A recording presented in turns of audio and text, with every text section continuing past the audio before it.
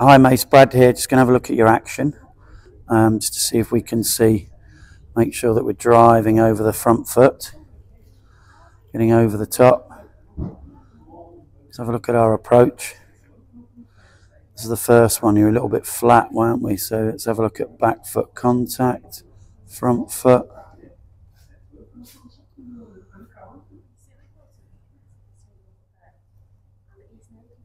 Quite you quite completed your action there, and you rushed through it. You know, you got through it quite quickly. Let's have a look at the next one. So there's our so back foot's landing pointing down the pitch.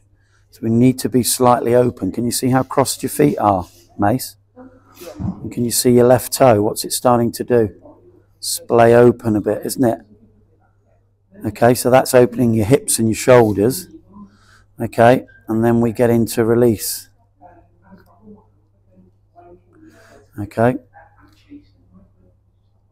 because you're because you're a little bit crossed with your feet, you can just see it ball release now. Can you see how high you are? You're very close to going past the perpendicular.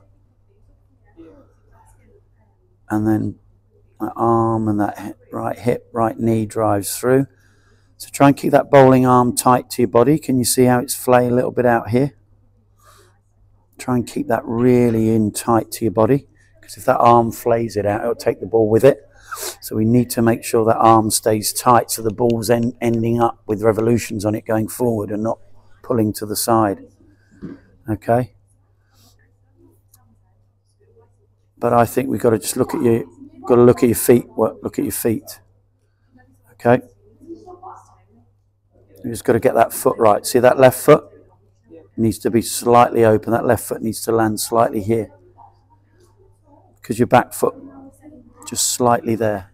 And that'll straighten up the whole of your action, your feet. Okay, so I'm going to put a couple of spots down for you to work on that back foot landing and front foot to get here and not slightly splayed open. Okay, let's go.